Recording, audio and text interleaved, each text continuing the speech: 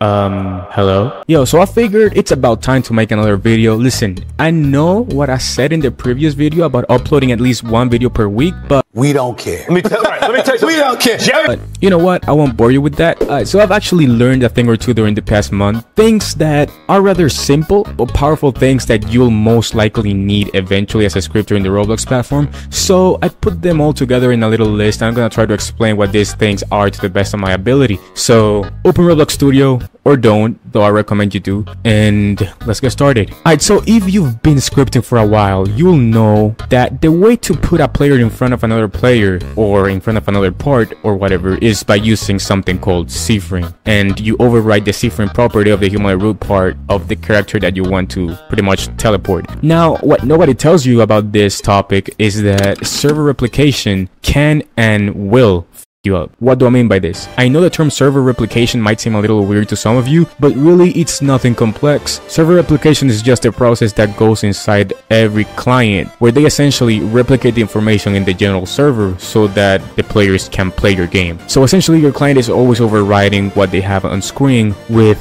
what's actually going on in the server. Hopefully that makes sense. Now, what's the problem with this? Obviously, for each client to replicate the server, it takes a minimal amount of time and it depends on mainly two factors. One, how far the actual server is from the player, and two, how fast the client's Wi-Fi is. This means that if you as a client are in America, but you're connected to an Asian server, then you will get high ping. However, this also means that if you're in America and you're connected to an American server, but your Wi-Fi is trash, then you will also get high ping. Your ping will almost always be a very good metric to see how effectively your client is replicating the server. Now that you know this, you also have to know that the replication speed is never instantaneous. Your client needs time to gather data from the server, even if it's just a millisecond. Even if you have zero ping, it will never actually be instantaneous. That's why the higher the ping, the higher the delay of your actions in game, because your client just takes longer to retrieve these data. And now you might be, well, Ludius, that's cool and all, but what does this have to do with positioning players? Glad you asked. Okay, so first, can we agree that for the most part, all players have different ping? It's logical, right? Also, you must know that the server always replicates the position and activity of the client. So when it comes to where the character is and what he's doing, it's not server replication, but it's more of like client replication. Yeah, let's call, let's call it that. Let's call it client replication, where essentially the server replicates what the client is doing. It's like the opposite of server replication. So let's say you tell the server to put a player, let's say player A, in front of player B. The server is gonna take the C frame of a player A and place player B in front of player A, right? Wait, no, I got it backwards. The server is gonna take the C frame of player A and place it in front of player B, right? It's easy. Yes, but no, because if player B is moving, then player A is gonna be put where player B was half a second ago and not where he actually is, leading to a misplacement of player A. This is especially noticeable if you anchor the character while you're moving. You will clearly see how the player doesn't get placed exactly where the other client is. And again, this is because replication takes time, so there's always a delay in every single action that's happening in game, both for the server and for the client. Now, for the most part, the misplacement is so subtle that for most cases you don't really have to worry about it, but for those specific cases where you do need to worry about it, oh boy, you're so lucky you're watching this video.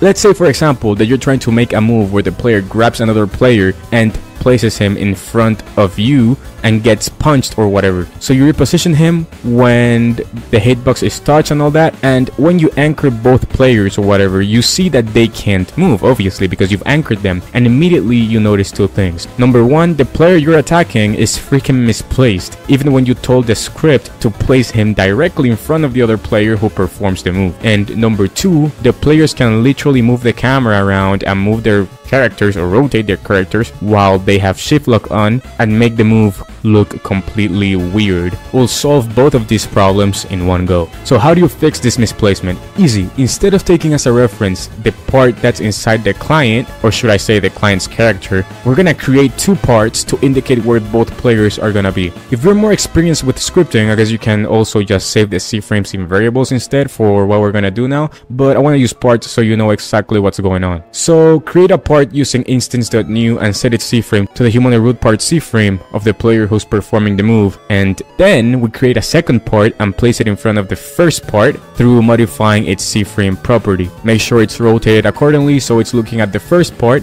and after that all we gotta do is set the C-frame of the humanoid root part of the player who's performing the move to the reference part 1 and the C-frame of the humanoid root part of the player who got caught by the other player to reference part 2. Also, make sure you anchor both players and both parts. This is gonna make sure they're both aligned properly. And now, if you retry your move, you will see that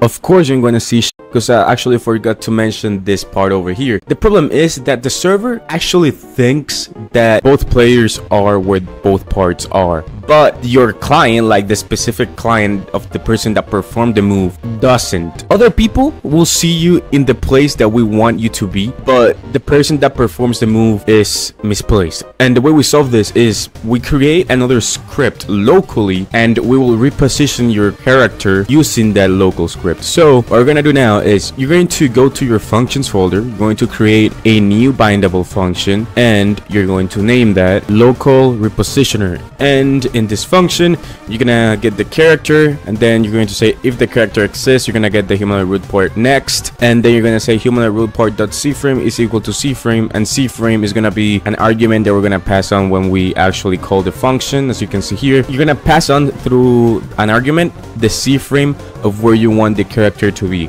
And then once you do that if you go and test your move again then as you can see both people are where both parts are telling you that they should be. And now that we got that out of the way, let's go back to what we were doing. Now they're both perfectly placed, even though it kinda sends the attacker to where he was before, but it's better than having him misplaced, right? But now, there's one problem remaining. Both players can still rotate their cameras around while they're supposedly trapped. If you don't want this to happen, the solution is actually pretty easy as well. Each humanoid has inside them a property called auto rotate. Set this to false and the humanoid will no longer rotate even when they have activated shift lock. So get the humanoids of the players when they get initially locked, set the auto rotate property to false, go to the end where they stopped being locked and set both of the humanoid auto rotate properties to true again. Now if you perform the move, they're locked while the move is happening, they're positioned correctly and they can't rotate their characters while they're locked. Alright bro, so this is gonna be the end of the video. Make sure you understand what I said about replication. If you need to go back to make sure you understand it, go back. If you need to watch another video and do more research, then do more research. This is a very important topic for you to know. Also, a lot of you have been asking me lately to be their mentor, but as much as I'd like to be everyone's mentor, bro,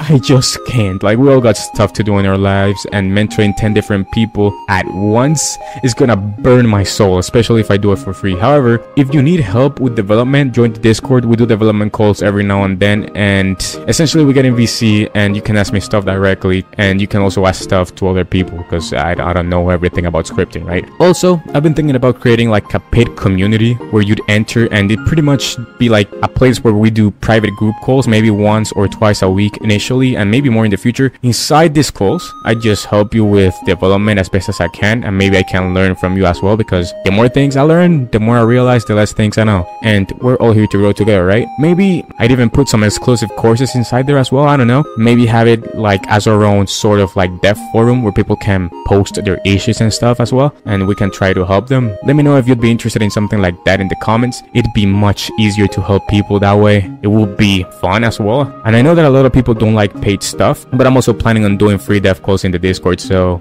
no worries there i guess. This said keep leveling up bro. Be safe. And i'll see you when i see you. Peace